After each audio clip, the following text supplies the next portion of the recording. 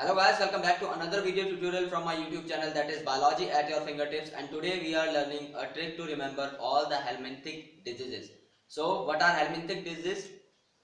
The diseases that are caused by helminths which can be platyhelminths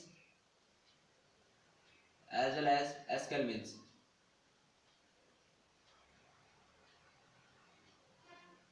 So the diseases that are caused by platyhelminths as well as aschelminths are known as helminthic diseases and the trick to learn those diseases goes like this.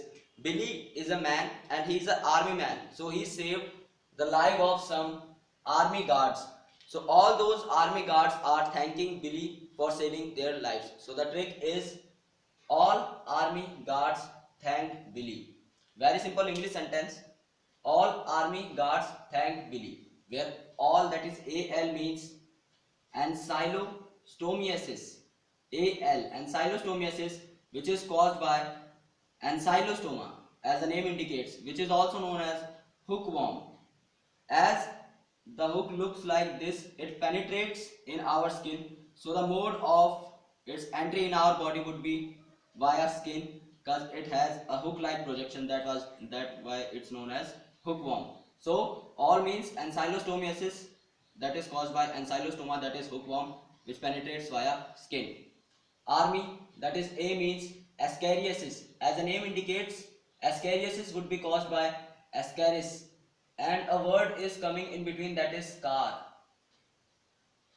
There are many scars in skin of different kind of persons who are you know using contaminated water. So the trick is to learn this disease is it will be communicated via the water. The contamination of water as scar word is there. The next one is guards that is g. G means guinea worm disease. Guinea worm disease is caused by dracunculus medinensis again guards that is simply g means guinea worm disease caused by dracunculus medinensis after that thank that is T means teniasis which is caused by Taenia solium which enters in our body via pork. Pork is the meat of pig. Remember that. And Taenia saginata which enters our body via beef and beef is the meat of cow. So you have to memorize these two things pork and beef.